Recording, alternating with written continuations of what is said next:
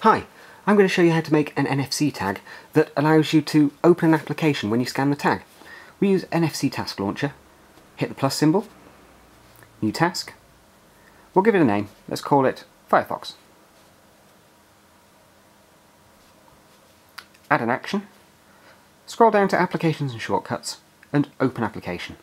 You could also have a tag that closes an application or use a, a switch which switch between opening and closing that particular application. Go to Next, and then we select the application from the list. Firefox.